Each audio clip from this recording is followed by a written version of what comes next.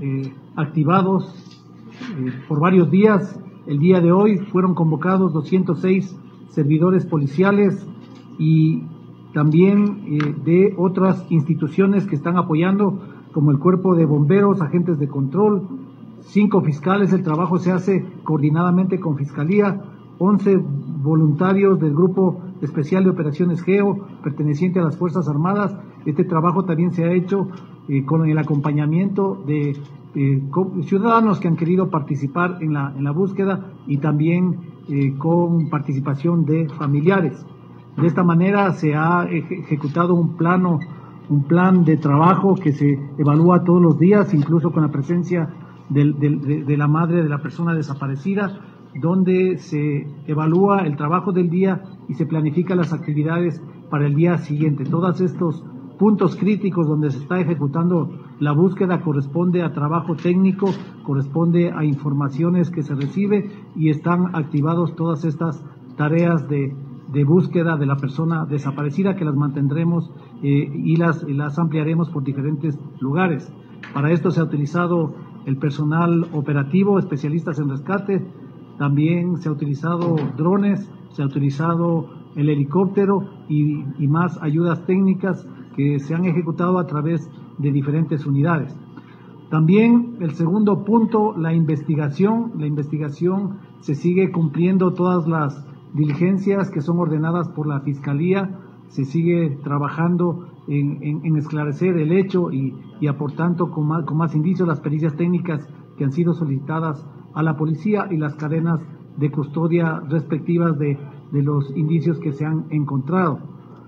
En, el tercer punto, que es la, búsqueda de la persona que la persona que es sospechosa de este evento eh, delincuencial, estamos eh, activados en los bloques de búsqueda, tenemos activados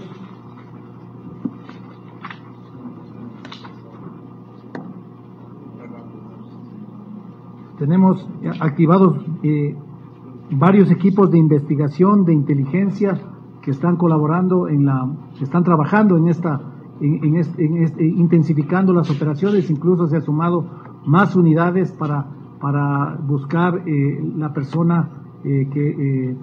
que es el posible sospechoso y también estamos pendientes a las llamadas de personas que puedan alertar al 1-800 delito. Está vigente una recompensa de 20 mil, de hasta 20 mil dólares a quien proporcione información sobre el paradero de la persona buscada por la justicia. En el cumplimiento de algunas disposiciones, eh, el día de hoy nos hemos reunido también con el Consejo de, Generales y en la cual se ha hecho primero eh, un llamado eh, de, solidaridad, nos solidarizamos con la, con la familia de, de, la persona desaparecida, con los familiares y con todas las comunidades que, con toda la sociedad misma que realmente es afectada por este evento que, en el cual eh, tenemos que dar respuestas. Y la, segundo aspecto es que la Policía Nacional actuará con absoluta transparencia, actuará con responsabilidad eh, pondrá a los equipos eh, operativos que sean necesarios para esclarecer este hecho. Y también se dispone a la Dirección de Asuntos Internos para que ejecute todas las acciones administrativas que sean necesarias y que correspondan al personal que participó de una u otra manera en los hechos. Esto tiene su debido proceso. También hemos, hemos cumplido con una, una, una decisión que se ha tomado eh, de nombrar eh, y, cambiar el mando de la, de la Escuela Superior de Policía. Creemos y confiamos en las capacidades de la coronel Iraní Ramírez. Ella eh, va a ser posesionada ya como directora de la escuela. Ella tiene un tiene el grado de coronel, tiene 28 años, de 9 meses de servicio, es licenciada en Ciencias de la Educación con orientación parvularia, es poligrafista, es decir, que está muy ligada a todo lo que tiene que ver con procesos de confianza, eh, sobre todo el manejo de polígrafo, de transparencia, de verdad, y ella va a cubrir esas, esas funciones en la Escuela Superior de Policía, pero también irá acompañada de, oficiales que cubrirán los cargos más importantes en la escuela, la coronel Doris Viteri, que será la subdirectora, la, coronel eh, Verónica Arcos, que eh, ella irá como jefe de instrucción, la, mayor Frejó, que irá de comandante del pelotón femenino, y no está presente, está la coronel Aro, Catalina Aro, que también ella será jefe académica. Entonces, con esto eh, nosotros confiamos en, la, en, que todas las acciones que eh, se han presentado disciplinarias podrán tener una reorientación en la escuela, se analizará todos los esquemas normativos, disciplinarios que corresponden y confiamos en la firmeza de la mujer para ejercer estas acciones de control y de protección también de,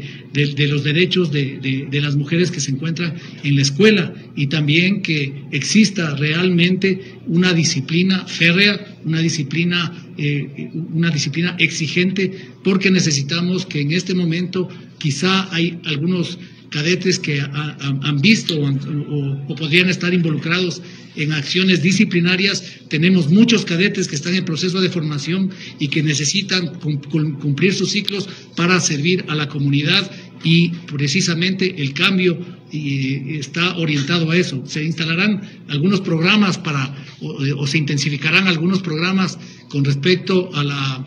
las, acciones de,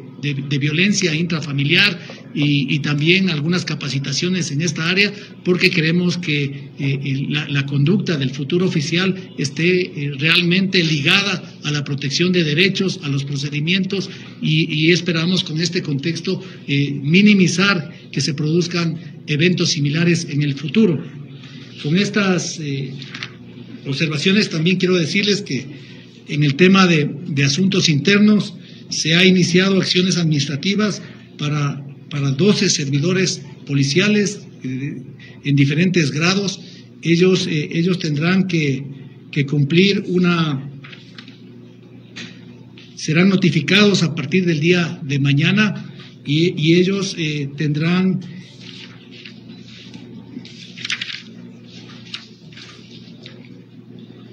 dentro de los sumarios administrativos, acorde a la competencia de la Dirección Nacional de Asuntos Internos, se aplicará el artículo 129 del COESCOP para los servidores que se presuma hayan cometido faltas muy, muy graves. Mientras dure la suspensión, esta suspensión, eh, los servidores policiales no podrán hacer uso del uniforme, cargo, función y mando policial, así como uso de armas y bienes institucionales. Con esto queremos garantizar que todas las investigaciones eh, disciplinarias que se hagan al interior de la escuela no tengan influencia de ningún tipo y como lo ha prometido y como lo ha garantizado la policía, queremos transparencia, queremos verdad y si hay alguien involucrado tendrá que asumir las, las consecuencias administrativas o penales de ser el caso.